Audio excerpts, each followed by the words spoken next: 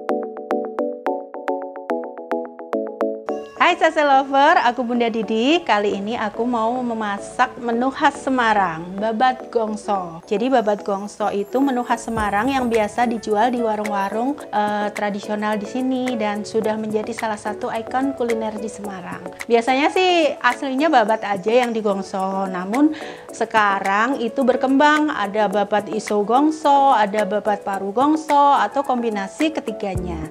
Yuk kita masak. Oke, jadi untuk bahan babat gongso ini sebenarnya namanya itu babat gongso tapi pada kenyataannya di Semarang bisa isi juga ada iso, ada jeruan lain seperti paru dan lain-lain. Nah, ini aku pakai kombinasi ya seperti di warung-warung di Semarang ada iso, ada ini iso, ini ada babat, ini ada paru. Semuanya udah direbus secara terpisah, di presto secara terpisah pakai bumbu uh, bawang putih, bawang merah, ketumbar sedikit, kemudian daun salam, jahe dan lengkuas. Itu agar fungsinya babat ini tidak amis dan juga uh, apa lebih gurih rasanya. Jadi nanti karena gongso itu proses menumis sebenarnya nggak terlalu lama memasak, jadi nanti biar bumbu-bumbu udah meresap dulu di sini gitu. Kemudian bumbunya ada bawang merah, ada cabai, cabenya kombinasi rawit dan merah agar rasanya pedas. Kemudian ada jahe untuk uh, sedikit aroma menghilangkan aroma amis yang tersisa. Ada bawang putih, just simple gitu aja. Karena udah pakai rempah-rempah di sini, jadi untuk menumisnya nggak perlu rempah-rempah lagi kemudian ada gula, ada sedikit kaldu sapi, dan kecap itu yang paling utama untuk babat gongso. Oke, untuk membuat babat gongso, pertama kita haluskan cabai dulu.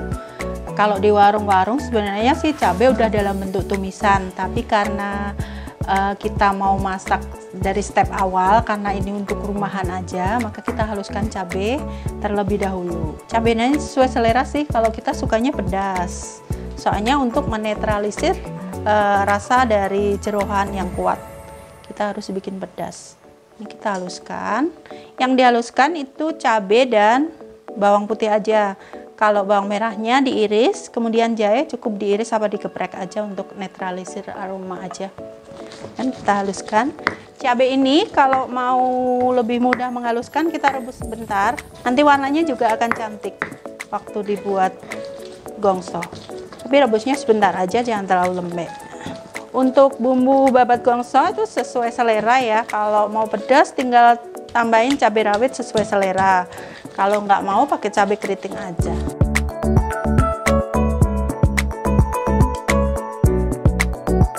Bumbunya udah aku ulek ya. Ini cabai dan bawang. Nguleknya ini nggak terlalu halus nggak apa-apa. Atau mau halus juga nggak apa-apa bebas sih. Nah seperti ini udah cukup oke selanjutnya yang kita tumis duluan itu adalah bawang merahnya kita tumis hingga harum baru masukin cabai nanti. Oke ini bawangnya udah layu bawang merahnya. Terus kita masukin cabai nah nanti kita tumis lagi nanti sampai harum nah menumis cabenya ini hingga benar-benar matang. Makanya kalau di warung-warung itu biasanya udah dalam bentuk tumisan yang dimasak lama yang warnanya kemerahan gitu.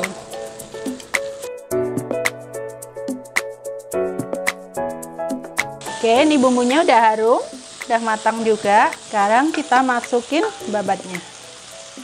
Babat iso dan juga parunya. Kita aduk dulu kita gongso-gongso istilahnya.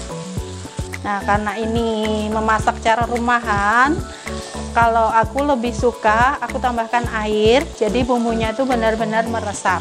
Kalau teknik ala warung biasanya setelah digongso seperti ini setelah numis bawang merah kemudian babat masuk tinggal masukin sambal sama kecapnya langsung ditumis cepat karena semua sebenarnya udah matang. Tapi ini versi rumahan itu aku masukin air agar bumbunya lebih meresap dan juga semua bumbunya tercampur rata. Karena kita uh, menumis bumbunya dari awal tadi ini airnya kira-kira dikit aja 100 hingga 150 gram sekedar untuk mencampurkan bumbu-bumbu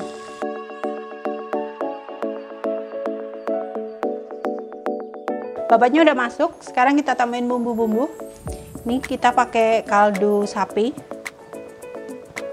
Kemudian ada sedikit gula, gula pasir atau gula merah bisa.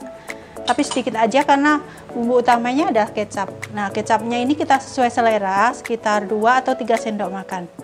Kita kasih 2 sendok dulu ya, sekitar 2 sendok nanti boleh nambah.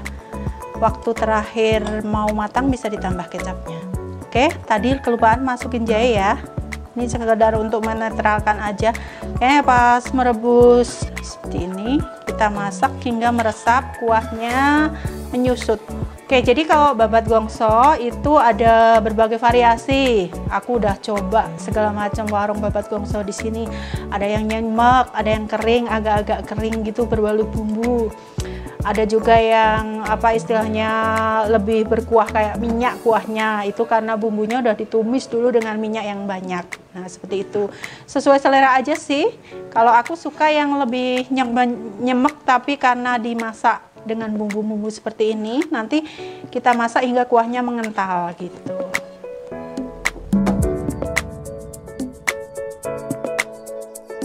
Ini babat gongsonya udah matang jadi seperti ini. Ini versi aku ya teman-teman. Jadi babat gongsonya kalau aku lebih suka yang merah seperti ini.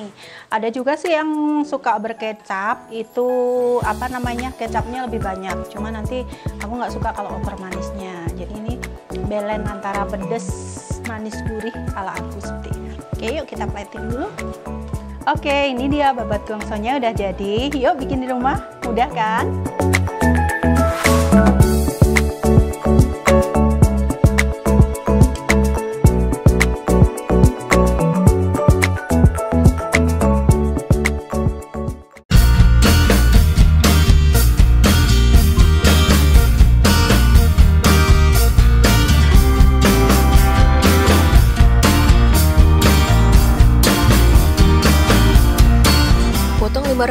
babat yang sudah direbus setengah matang dengan ukuran 5 x 5 cm, lalu sisihkan. Rebus 500 ml air kelapa, 2 lembar daun salam, dan bumbu halus yang terbuat dari 5 butir bawang merah, 2 siung bawang putih, 1 sendok teh ketumbar, 2 cm lengkuas, 2 sendok makan gula merah sisir, dan 1 sendok teh garam sampai mendidih. Masukkan babat, masak sampai empuk dan meresap. Goreng dalam minyak yang sudah dipanaskan di atas api sedang sampai kecoklatan.